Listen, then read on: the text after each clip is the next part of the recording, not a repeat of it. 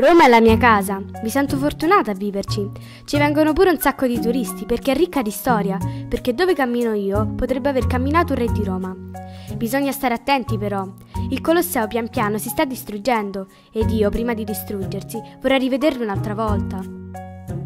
La trattiamo male, è sporca e le periferie sono abbandonate. Roma è bella de sera perché vedi le stelle. A San Basilio vedi pure i murales. Sono belli perché sono fatti da artisti bravi. Su quell'arte invece ci sono scritte che non si possono sentire, come le scritte sulla metropolitana. Io a Roma toglierei l'inquinamento. Come? Usando di più i servizi pubblici e le biciclette. Ci vorrebbe una metro pure a San Basilio e nelle periferie, altrimenti noi ci troveremo penalizzati. A Roma bisogna trovare nuove fonti di energia, renderla più ecologica e poi con più lavoro e più case per chi non ce l'ha.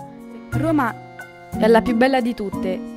È sapere, anche perché ci sono tante scuole.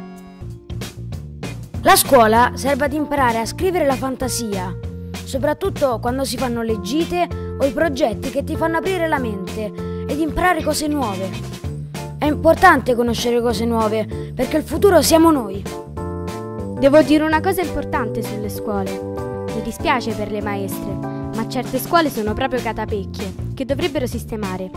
Cadono a pezzi, ci sono crepe, finestre rotte, i bagni rotti, che quelli ci servono proprio.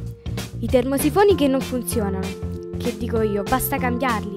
E banchi e le sedie rotte? E se cadiamo dalla sedia rotta? Ci vorrebbero più LIM per imparare meglio un'aula di musica, una di chimica, laboratori di scienze e di botanica.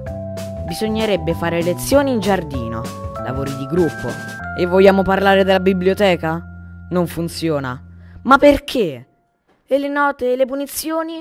Non servono a niente. A noi serve un posto fantasioso.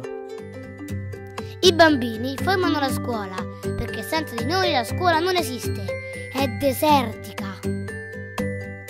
La scuola è un portale che porta da tutte le parti. Un seme che se lo pianti diventa un fiore bellissimo. Ci permette di avere conoscenza della vita e di imparare dagli altri. È un labirinto e devi trovare la strada giusta. La scuola è come una formica. A tutti sembra piccola ed insignificante, invece è grande perché sa un sacco di cose.